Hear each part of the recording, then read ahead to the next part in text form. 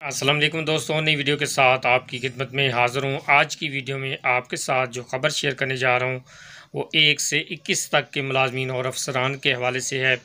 बहुत ही अच्छी खबर है, उसकी डिटेल है, जिसमें एजाज़िया देने के हवाले से फ़ैसला किया गया है। कारकर्दगी की बुनियाद पर एजाज़िया दिया जाएगा और उसकी डिटेल है, शुरू से लेकर आखिर तक ज़रूर देखेगा।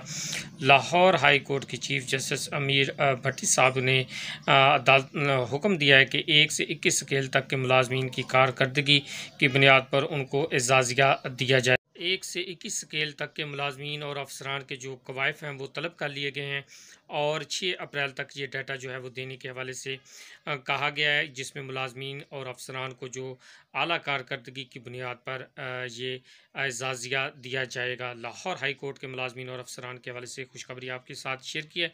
उम्मीद करता हूँ इन्फॉर्मेशन आपको पसंद आएगी और आप इस वीडियो को भी शेयर करेंगे। मिलते हैं नई वीडियो में नई इन्फॉर्मेशन लेकर। तब तक दीजिए इजाज़त। अल्लाह हाफिज़।